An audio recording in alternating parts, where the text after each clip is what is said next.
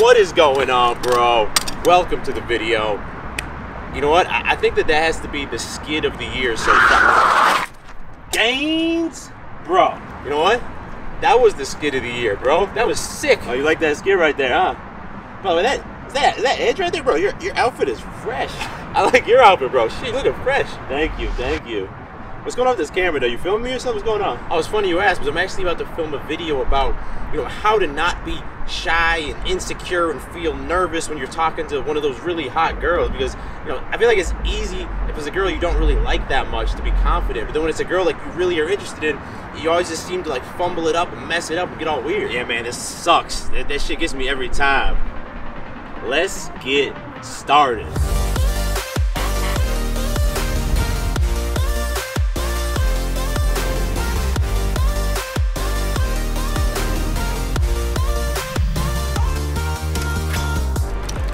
When I was working to level up my confidence with girls, I was consuming a lot of dating advice, right? But no matter what tips or techniques I tried, whenever I was face to face or even close to a girl who I really found attractive and I really was interested in her, I would just feel intimidated, like she was out of my league, like I wasn't worthy of her, and then I wouldn't have the confidence to actually talk to her, or if I was talking to her, I would have no confidence in obviously it wouldn't go well. And that in itself was very demoralizing because it was almost like these bad experiences were reinforcing this belief that like, yep, see bro, you're never gonna get a girl like this. It's just not gonna happen. And ultimately the only thing that actually worked and helped me break past this invisible barrier was finding ways for me to put myself in situations that forced me to actually stay calm around girls who I was really interested in.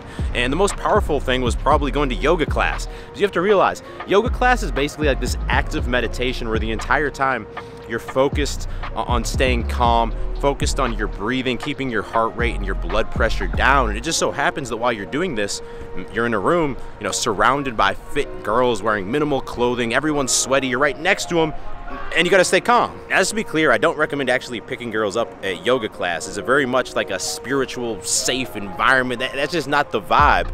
But when you repeatedly go there, you know, not only are you next to them in class, but likely you're gonna get into some casual interactions with them on the way in, on the way out. Now, beyond that, and look, I'm not trying to throw shade at Planet Fitness. I know I talk a little shit from time to time, but if you upgrade to a more premium gym, there's likely to be more premium girls there. If you stopped going to the value supermarket or maybe once a week you stop in at Whole Foods to get your, your meats there or something, there's just a lot more opportunities for you to cross paths with more attractive girls. And the point of this, the whole point is that now when you see a girl you really want to talk to who's really hot, it's not like, oh my God, the, the gates of heaven opened up and this is my one chance. If I don't get it now, you know, I'm fucked. Like you're naturally gonna put less pressure on yourself because it feels like a more normal thing.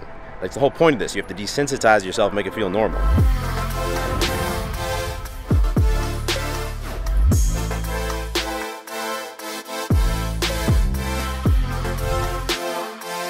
So for breakfast today, I had to take Kevin to try something other than breakfast tacos because he's only eaten breakfast tacos since he's landed in Texas.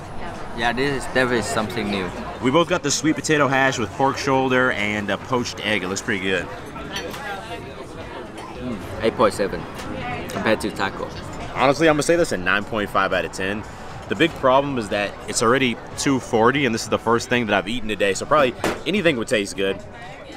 Another big problem is that there's still a lot of men out there suffering from premature ejaculation and erectile dysfunction, so it's a good thing today's video is sponsored by Roman. Look man, if you're experiencing either of these problems, it's gonna make it very challenging to be confident in the bedroom, and a lot of times it makes you not even wanna put yourself in the position to hook up with the girl, but don't stress about it because Roman's got you covered. If you're struggling with ED, Roman's gonna set you up with a free online visit with a healthcare professional, and if medication's appropriate, they're gonna prescribe it, they're gonna send it to you with free two-day shipping in a discreet, unmarked package. No awkward visits to the doctor are required. And if you're struggling to last longer, they also offer Roman swipes, which are super convenient. They fit in your wallet, they're clinically proven to work, and they don't even require a prescription. And because Roman is sponsoring today's video, you know that they're hooking it up. If you go to getroman.com slash beast, you're gonna get $15 off your first order of ED treatment. That is getroman.com slash beast, or you can click that first link in description.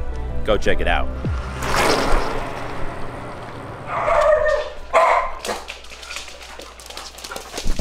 All right, so you're starting to put yourself in these situations where there's opportunities to talk to the girls you want to talk to. You know, again, obviously the next step is to actually start to have some conversations with them. Not necessarily pick them up, but have some conversations. And that's extremely intimidating. And that's why I wanted to bring in our favorite resident fish, Julia. What up, guys? It's funny because my sister actually called me yesterday and she was freaking out and she was like, Julia, I was at the gym and I was on a machine and the weight got stuck and she was like putting her foot, trying to pull it off. And she said it was super embarrassing. She couldn't get it. She walked away and this guy came up to her after and was like, Hey, I saw you were struggling over there and I was gonna come help you, but then I thought it would be embarrassing if I couldn't get it either. And so they both laughed and he was like, Well, enjoy your workout and walked away. And she was telling me, she was like, why didn't he ask me out? Like, should I go back in and talk to him? She was like all flustered. And this is funny to me because this dude did not actually attempt to pick up Hannah, but if he had tried, like, he would have been successful, right? And this is actually the biggest game changer I ever learned for my game was when I stopped trying to game girls and tease them or neg them or DHV or do any of this shit. And instead, I just like, oh, I'm just gonna have a normal conversation with this girl. I had a lot more success. And I think a lot of it is that you, when you have less pressure on yourself, you actually talk to more girls. And then what, you, what I started to realize is that when I'm talking to a girl, having a normal conversation, usually you can see if there's a vibe. And if there's a vibe, you can be like, hey, you know, you seem like a cool girl. Do you want to hang out sometime? And if not, or maybe you're not sure and you just pussy out and you don't ask her out, but if you just talk to her in the first place, it's still a win because you still got yourself comfortable talking to attractive girls and that's gonna make you more confident in the future. Now, some good basic, like normal conversation starters would be that was a good example. Something like kind of funny happened, and he's made a comment on it. Uh, you know, the grocery store. A lot of times, you can ask for, "Hey, I know you don't work here, but like, I'm trying to make some guacamole tonight. How can I tell if the avocados or the bananas are, are ripe or something?" If you're at the gym, you know, "Hey, this is random. Uh, uh, what, what, song are you listening to right now? I'm trying to find like some new good songs for my gym playlist. It's getting kind of stale. Or you're in the elevator and there's a girl like starting up a conversation about, "Hey, what floor do you work on?" or something like that. That's creepy. What? hey, what floor do you? Hey, what hey, floor do where you? do you live? Hey, what office number do you work in? what, what cubicle is yours? What time will you be alone?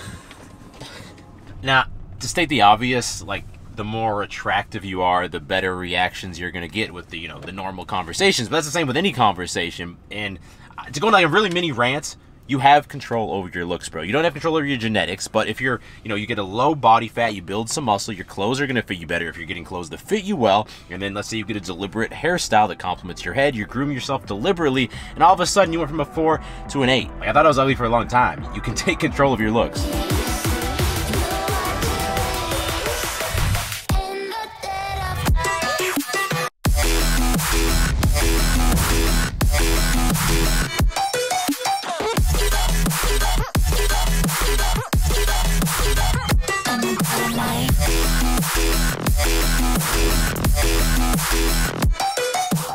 Gains.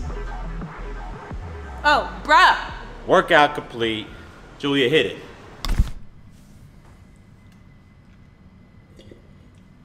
On our LeBron shit tonight, he drinks wine. Oh. But check it out. Once you, once you're even starting to see these opportunities and seize these opportunities, I think I think the next big obstacle for me that I faced was like just running out of things to say. Like I know that I was I was gonna get to that point in the conversation where it was gonna be like 30 seconds in, a minute in, two minutes in. Oh, yeah, um, so then, uh, uh, and the way that I got past this and kind of like unlocked unlimited conversations uh, was really by mastering questions that dig deeper. So questions that require more than a one word answer. Not like, you know, where are you from? What do you do for work? Blah, blah, blah. That's interview mode, but asking what, how, and why. So let's say, you know, we'll take it from the top one time so you see how, my, how this might go. I'm at the gym. I approach this girl, like, hey, hey, excuse me. Uh, I know this is random, but but what's your go-to song for the gym right now? I'm, I'm just trying to spice up my playlist a little bit. Monster by Eminem. All right, cool, cool. Yeah, I'll, I'll add this, add that to my playlist. Cool, cool. By, by the way, my, my is David. It's nice to meet you. Hi, I'm Julia. Nice to meet you too. I, I see you working out here a lot. You, you're not from Austin, though, are you? I'm not. I just moved here actually. Where are you from? I'm from Boston originally. So I started getting there. You know, where are you from? That's that is a one-word answer, but now I dig deeper. Oh shit! What, what was it like to grow up in Boston? Cold. It was like really rough. Like the winters were terrible. Summers were super hot and humid. But I'm super glad to be here. So like, what, what was your go-to activity like during the winter when you couldn't go outside? Ooh. See, another what question that, get, that gets her to expand. I was really into snowboarding, skiing. My parents actually had a house up in the mountains. And now I could dig into in, any of these things right here. Like, oh shit, what's the craziest trick you can do on a snowboard? You guys get the idea. Another super common question that comes up a lot. Oh, so what do you do for work? I'm a veterinarian.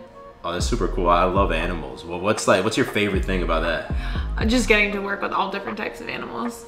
What's your favorite animal to work with? That's hard. Um, I really like working with horses. Interesting. And why did you get into like veterinarian? Ah, when I was little, I just like loved animals and always wanted to help them. So then I decided to internship at a, a hospital and fell in love with you know working with animals. That kind of covers you know, where you're from, what do you do for work. You, know, you can also just have good questions ready in your back pocket that, that require the girl to think a little bit. Like, all right, so if you could wake up anywhere in the world tomorrow, where would it be? Ooh, probably Fiji. Fiji. Why? Why would you be in Fiji? I don't know. It just like looks like a beautiful destination and the beaches, and I don't know. It's just like a long way to go. So. Fiji. All right. Let's say you're in Fiji tomorrow. What's the first thing you do when you wake up? Probably like go jump into the ocean. And see, it's gonna open people up because you, now you're also asking them about these things that are personal to them. And people, I've said this before, but the thing that people like to talk about more than anything is themselves and their interests and their passions.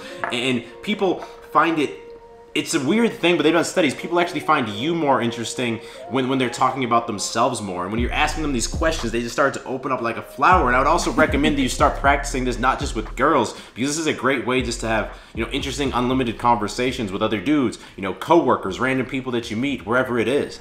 I will say that right now, if you're someone who's working to level up your dating life, uh, you've probably heard me talk about my Beast Dating coaching program in the past, and I just wanted to let you know that right now we are looking for a few more motivated students to bring into the program.